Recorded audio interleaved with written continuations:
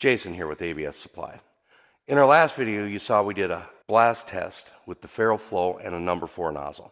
So this is our follow-up. I want to see what's going to happen with our pressure gauges, specifically differential pressure from the pusher line to the inlet when we use a number 5 16 nozzle, which I put in here, and a number 3 8 or number 6 nozzle here. So we're going to test these two quick, look for differential pressure, and see what we get. Stick with, at the end, we'll have the results for you.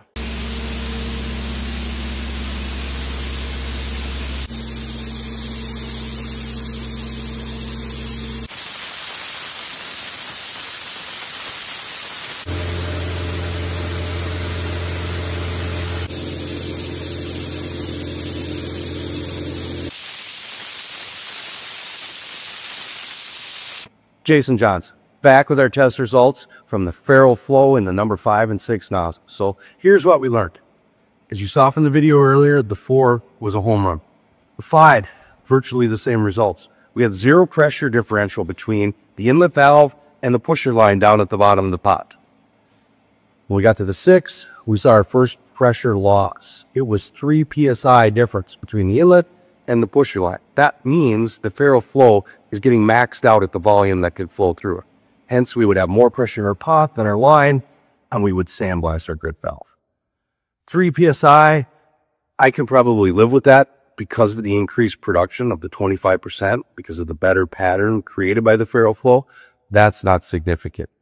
Now, as we get up into larger nozzles, number seven and eight, I have some other friends of mine who have documented pressure losses with number eight nozzles at 10 psi.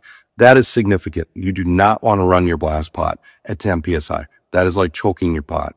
That will cause you, the blaster, to buy a whole lot of extra microvalves, Thompson valves from people like me. I would not recommend it, would not outweigh the benefits of it. But for my test results, as you saw with the pressure, it is definitely going to be a benefit to run the Farrow Flow with the number four, a number five, and even a number six nozzle. As you'll see some of the final results, our pressure did drop at the end at the tip a little bit. And that's just because we're limited by the compressor size that we have here for our test today. I have a 210 Kaeser compressor running a number six nozzle with our air dryer, hoods, and everything else that we have.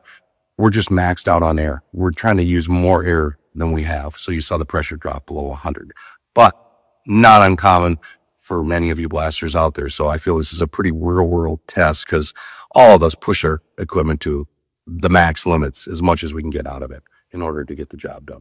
Well, I had a blast today and I hope you guys did too watching. Thanks for showing up. Jason with ABS Supply.